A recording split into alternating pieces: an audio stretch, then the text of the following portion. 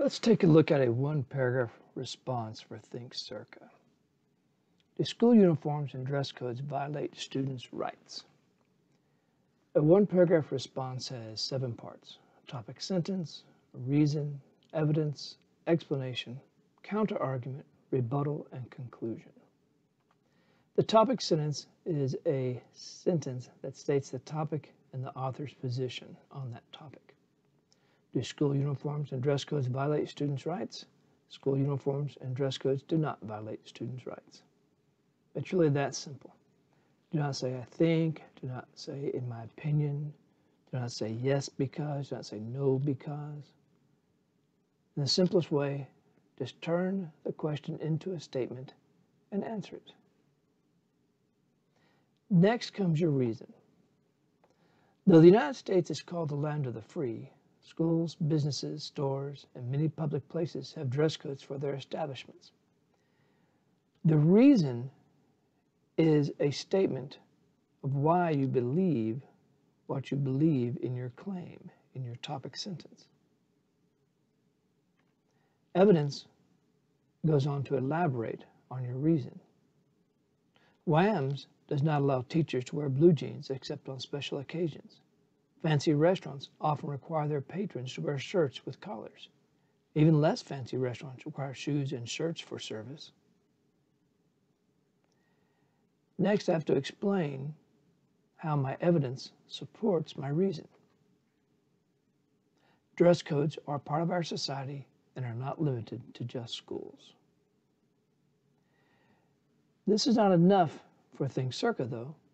We have to have our counter argument counter argument, you put forth your argument, and now you're going to address the opposition's argument against you. That's called a counter argument. Some people view their style of dress as a way to freely express themselves and feel that dress codes infringe upon their constitutional rights. My rebuttal is where I explain why they're incorrect. It's true that the First Amendment protects freedom of speech, but the Supreme Court has ruled that there are limitations to that protection. Though never ruling specifically on the legality of dress codes, the court allows school districts to establish rules to prevent disruption of the learning process. Then my conclusion is a sentence that restates my thesis to wrap up my argument and remind the reader of my original claim. Though free speech and students' rights are important in a democracy, in most cases they are not violated when a school establishes a dress code.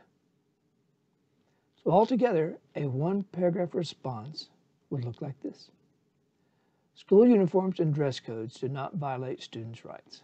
Though the United States is called the land of the free, schools, businesses, stores, and many public places have dress codes for their establishments.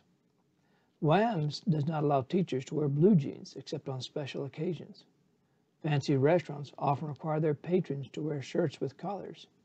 Even less fancy restaurants require shoes and shirts for service. Dress codes are a part of our society and are not limited to just schools.